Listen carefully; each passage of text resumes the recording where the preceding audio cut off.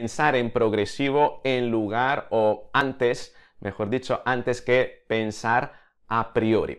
¿Qué significa? Significa que el, eh, camino se hace andando, ¿no? que es mejor construir las cosas sobre la marcha poco a poco en lugar de eh, estar idealizando algo a priori, mm, en teoría, y tratar de aplicarlo tal como lo habíamos diseñado. ¿Por qué? Porque luego cuando trasladamos, aterrizamos todo ese planteamiento eh, al, terreno, ¿no? Eso es como tener un proyecto, ¿no? Luego el terreno nos va a decir que, bueno, van a salir toda una serie de imprevistos, ¿no? De imponderables y hay que saber lidiar con ello, hay que estar abierto precisamente a tenerlos en cuenta en lugar de tratar de cumplir eh, con un planteamiento previo. Estar abierto, ¿no? A esa posibilidad de construir sobre la marcha, desde luego, nos ayudará mucho más a recular. Lo he dicho, el camino se hace andando y para que entiendas ¿no? lo importante que es este planteamiento, tenemos que pasar al cuarto comportamiento. ¿Sabe cuál es?